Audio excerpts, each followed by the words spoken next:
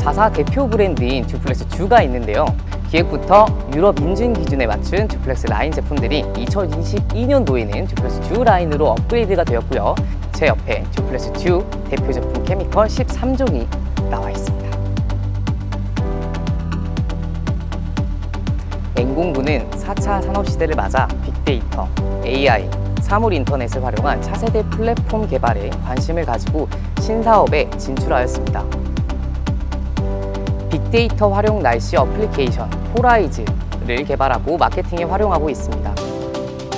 미래 신사업으로 AI 드론 세차 사업을 준비 중이며 이를 위해 지역 학교와 산업 협력을 맺어 인재를 적극적으로 채용하고 있습니다.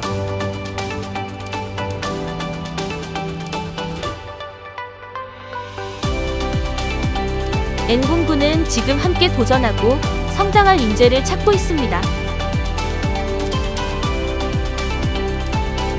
특히 자동차나 세차에 관심 있는 인재는 적극 환영합니다.